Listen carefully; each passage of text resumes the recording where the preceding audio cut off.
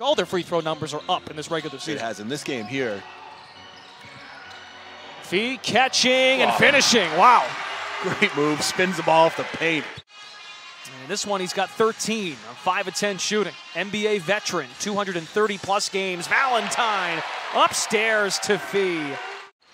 This scenario right now has Denzel Valentine's name written all over it. I would agree. The lob from Davison. At Real C. Whitney, at Brendan Glasheen. Give us your player of the game nominees. Fee Kabengele. Old guard, J.D. Davison, hit with the foul call.